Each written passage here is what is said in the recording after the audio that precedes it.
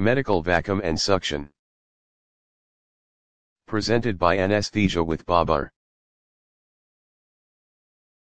Overview of medical vacuum and suction. Medical vacuum is used in suction devices throughout the hospital, usually from a central vacuum plant. It is recommended that one vacuum outlet is present in each anesthetic room, with two in each operating theater, including one dedicated to anesthetic use. Portable vacuum units are also available. Pressures are typically described in gauge pressure, negative pressures are therefore relative to atmospheric pressure. Gauge pressures of less than 101 kPa, 760 mmHg, cannot be achieved because a negative absolute pressure is impossible. Uses of medical vacuum and suction.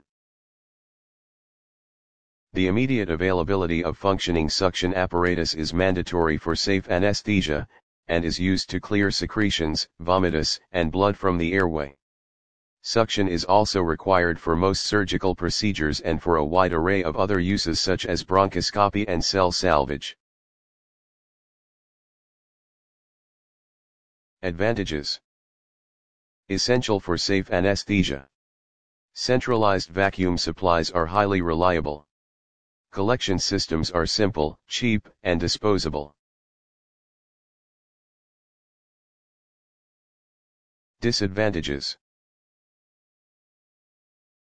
Disconnections and leaks in collection system are common, limiting suction pressure and flow. Battery life in portable units is limited. Thanks for watching, please subscribe my YouTube channel Anesthesia with Babar.